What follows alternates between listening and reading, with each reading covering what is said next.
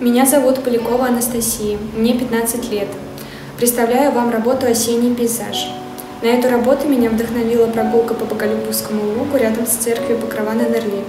Работа выполнена акварелью.